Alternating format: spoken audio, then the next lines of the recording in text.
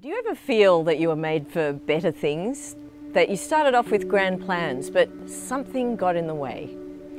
Despite what most people would call a successful life, I spent most of mine feeling kind of hollow inside. Like so many of you, I'm sure, I yearned to know what my purpose in life was.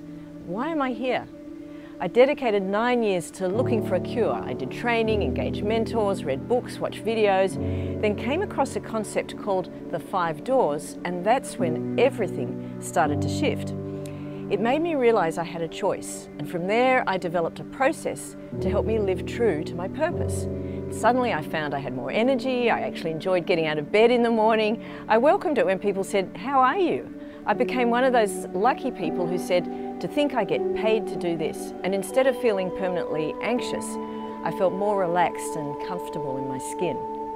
Now, if that sounds like the kind of life you want, it is actually possible, not just reserved for a lucky few. So, what are the five doors? Well, let's do a quick exercise together. So, close your eyes, take a deep breath in, and imagine you're facing a set of five doorways. Now, doorway number one on the left leads to the awful future, the catastrophic things that could happen to you.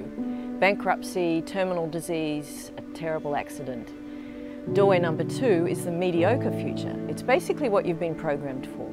So if you lived your life on cruise control and did everything you were told to do, all the things that all the influences in your life wanted you to do, your parents, teachers, society, the religions, this is the doorway they want you to choose. It's all about playing small and safe. That's doorway number two. Luckily, there are three more doorways. Doorway number three is the good future, where you have at some point broken away and taken control. Maybe you chose the career that you wanted or, or married someone you loved rather than the person your parents wanted you to marry. But, but you're still on the treadmill, living the conventional life, month to month, paycheck to paycheck. That's doorway number three. Doorway number four is the conventional definition of success. So you might be running a very great business or taking awesome holidays, going on some incredible adventures. You might have even become a celebrity or have 100,000 followers on Instagram or, or have a huge house and lots of money in your account. But like a cake made without eggs, it still feels like there's a vital ingredient missing. That's doorway number four. Doorway number five. This is where you're in your element, doing what you love, but not just that, you're living with a sense of purpose, of fulfillment, because in the process you're adding value to the lives of others and being rewarded for it. A purposeful, meaningful life doesn't happen to you by chance. It is a step-by-step -step process.